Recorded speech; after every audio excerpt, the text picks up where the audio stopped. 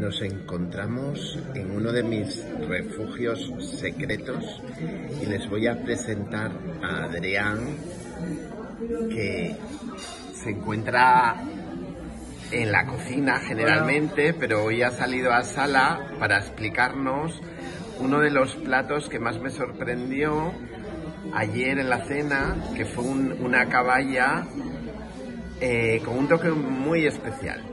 A ver, cuéntanos, Adrián, ¿cómo preparaste esa caballa? Muy bien, bueno, yo soy Adrián Nayen, uno de los cocineros de aquí de la clínica de asoterapia del Palasiet en Benicassim. Y el platito de caballa de ayer, pues muy sencillo. Se componía de un pisto que hacemos de manera tradicional, con ingredientes frescos, con el pimiento, la cebollita, tomate frito que hacemos aquí en casa también bastante a nuestro gusto, de manera que es todo casero. Y luego le añadimos un huevo a baja temperatura que es algo ya un poquito una técnica más moderna para combinar un poquito lo tradicional con lo moderno. Entonces la yemita del huevo junto al pisto y todo el conjunto hace que la caballa quede muchísimo más suave y pueda casar todos los sabores.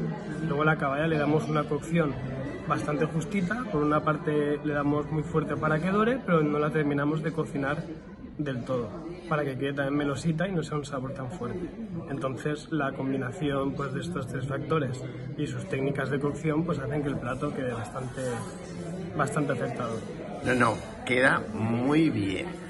Eh, pero a ver, yo estoy acostumbrado a tomar la caballa del norte, que es mucho más fuerte. Vosotros la pusisteis al horno para intentar suavizarla.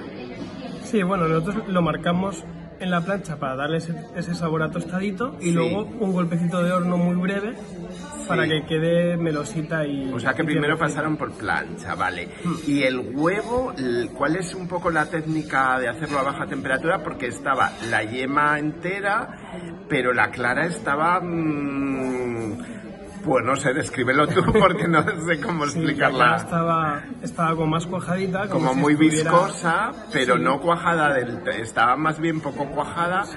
Que a los que les gusta la tortilla de patata más liquidita, más liquidita, perfecto, pero los que no les gusta muy hecha, pues no, no les recomiendo el plato. Pero la mezcla, la combinación era perfecta. Entonces explícanos un poco cómo consigues ese toque de, de la clara. Pues lo que hacemos es hacer los huevos en el horno a baja temperatura, a unos 65 o 70 grados, durante un tiempo en, en, humedad, entonces conseguimos ese resultado. Una vez lo sacamos del horno lo enfriamos muy rápido para que la cocción se corte y entonces consigamos que la clara esté a ese punto y la yema todavía nos quede eh, un poco líquida. Pues enhorabuena mm, por el proyecto. Hoy, hoy, hoy me sorprendió el lingote de cordero que, que lo acompañaste con un couscous de coliflor y canela, que también estaba súper innovador y, le daba un toque, bueno, la presentación, ya verán la, la, presentación que tiene aquí, que vamos, es de, de, de lujo y, y, probé de postre la sopa de queso fresco con sorbete de frutos rojos, que también estaba exquisita. Así que enhorabuena. Muy bien, A ver con qué me sorprendes por la noche. Bueno, mis compañeros harán todo lo que puedan. Bueno, pues gracias. un placer.